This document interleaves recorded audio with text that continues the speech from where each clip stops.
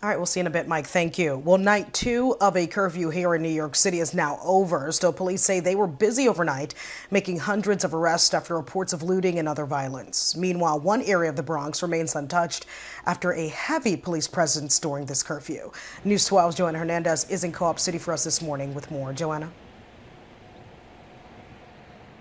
Yeah, good morning, Aisha. It wasn't perfect, but it was quieter overnight in the city than what we've seen in the past couple days. Now, we're outside at Bay Plaza Mall, and there's a heavy police presence here. Just a minute ago, there was a patrol vehicle right in front of this entrance and multiple others inside the mall. Now, there were rumors that Bay Plaza was going to be a target, flyers circling saying groups were planning to break into these stores.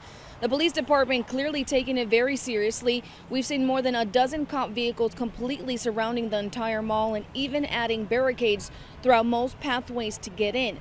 Yesterday, we were here as people boarded up storefronts, trying to avoid what we what went down on Fordham Road the previous night. As I mentioned, it is pretty calm down here. It doesn't seem it was targeted.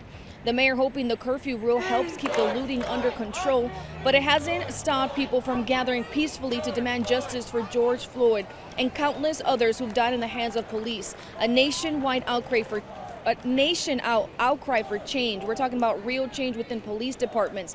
Activists and leaders continuing to call out for police for policy changes that will hold police officers accountable. Now here in our city, we're told that we're told more than 200 people were arrested overnight. In Co-op City, Joanna Hernandez, News 12.